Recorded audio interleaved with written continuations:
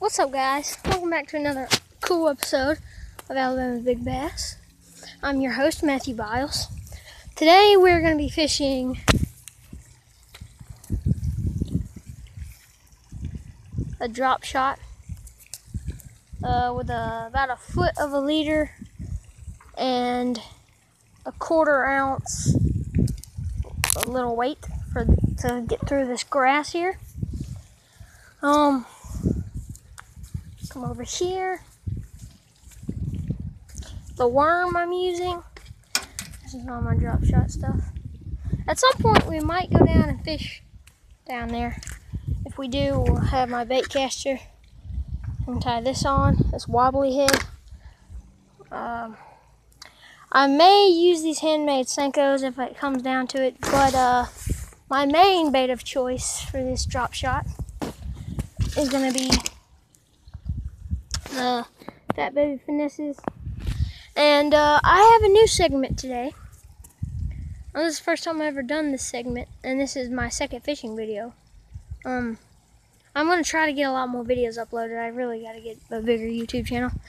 Um, I have been fishing a lot lately, and the fish, since it's coming to be fall, have been biting a lot lately. So, uh, yeah, stay tuned. I'll get back to you when we catch fish.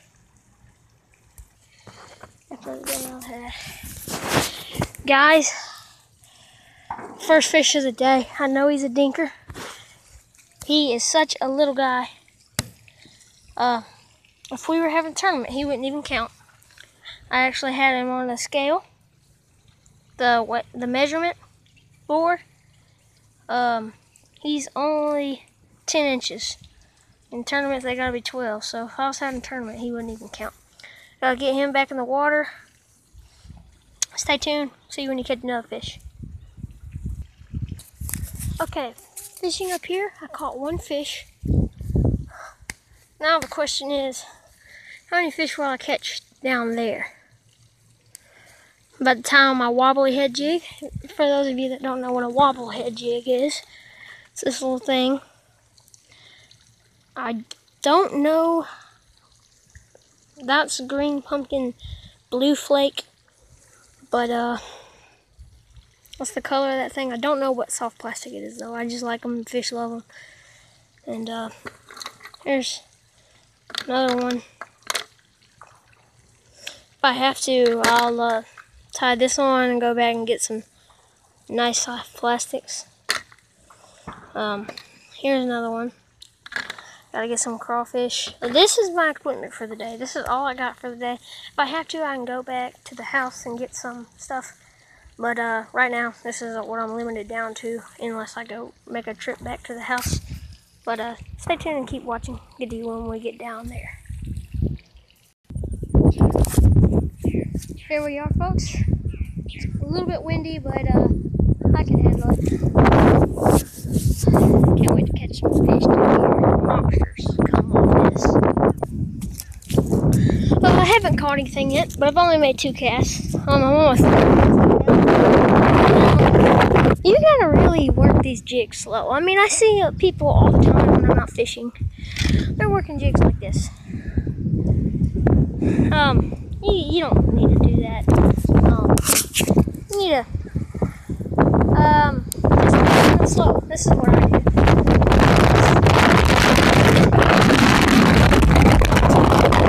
And if you not getting bit like that, don't even tap it. Kind of drag it into the ground.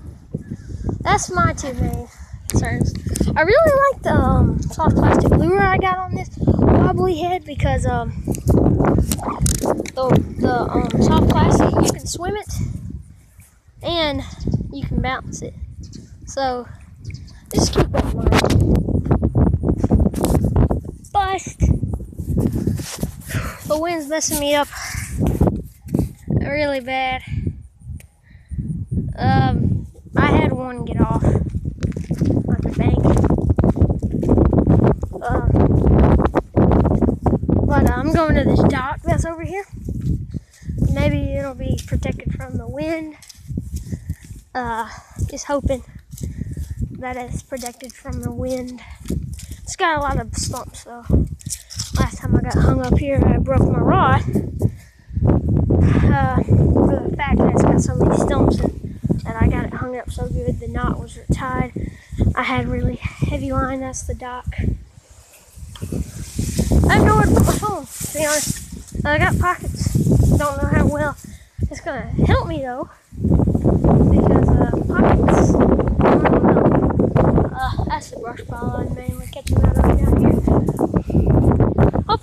One sitting in there. Stay tuned, we'll get back to the section there. Bust. Well, not a total bust. I caught one fish, but I thought that uh, he might have been a sign. I didn't show him you guys he was little. I thought he might have been a sign that they were biting since it was a spotted bass. And for those of you that don't live in Alabama, the Alabama spotted bass, eh, they all look the same. They have different habits because their mind frame are different species. Uh, you got the Alabama spotted bass, what I'm used to fishing. On Kentucky spotted bass have a whole different, whole different pattern. Alabama spotted bass, I don't know what any other spotted bass is like, but uh, um, Alabama spotted bass, they are uh, pretty uh, pretty consistent. One, you normally catch another. The Mobile, baby, the Mobile. Just so you know, um, this is not a crime. I am not very far from where uh, I'm staying right now.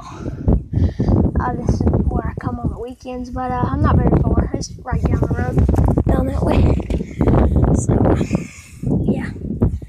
See you guys later. Uh, I gotta go back. I'm guessing I'm just gonna go back and try to catch fish on the drop shot that I have rigged up. Wait. Stay tuned.